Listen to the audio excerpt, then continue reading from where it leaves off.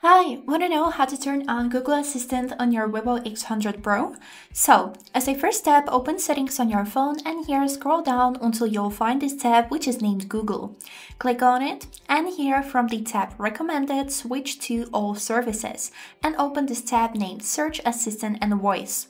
Here, we would need to go to this tab named Google Assistant and then Hey Google and Voice Match.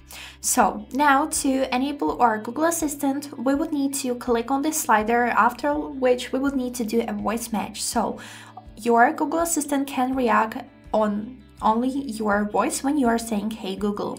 So here we would need to say i agree here the same and after this on your screen will appear some instructions how to do the voice match. So i'll do it and i'll be right back after this, you'll see the screen which is saying that Hey Google is ready. Now your device can recognize your voice when you say Hey Google or OK Google. So here we click next and here we can choose if we would like to help Google by sending diagnostic data and audio, but I'll choose not now. And this is it. Now you can see that our Hey Google feature is enabled. Here you can also see options as retrain voice match model or delete voice match model. And this is it. I hope this video was helpful and thank you for watching.